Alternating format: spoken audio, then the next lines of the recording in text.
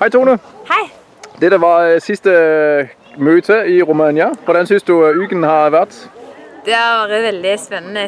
Det, de er så sykt flinke her og ordner til med. Det er veldig profesjonelt.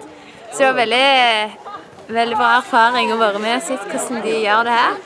Ja. Hvilket eh, inntrykk har, sånn, eller hva har gjort mest inntrykk på deg?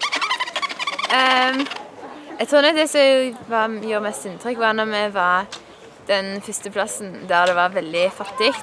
Og, det å se ungene når de kommer, og når de hadde pynta seg til kirka og komme inn dørene så smilende og sånt, og når du vet de levde i så fattige kår, det var veldig sterkt å se, egentlig.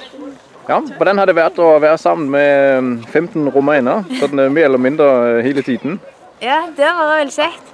Det, jeg eh, lurte jo egentlig litt på hvordan det kom til å bli, men eh, de er jo egentlig veldig like oss. Iallfall i humor og sånt. Vi kan jo le av alt. og Jeg snakket med de, og de òg at de syntes det var litt fælt at vi skulle måtte snakke engelsk og sånn i begynnelsen, men nå går det helt greit. Det var godt, ja, veldig godt, blitt veldig godt kjent med de, og det er kjekt å se hvor like vi egentlig er, selv om vi lever helt annerledes. Kan du eh, anbefale Reach Out til andre? Ja, det vil jeg virkelig anbefale. Det, det er noe helt nytt og veldig annerledes. Og selv om vi på en måte ikke har gjort sånn veldig masse på møtene, så har vi fått veldig mye erfaring og veldig, veldig god eh, opplevelse av hvordan de gjør det, og veldig nye, mange ideer, selv om det ikke er helt likt det vi gjør i Norge.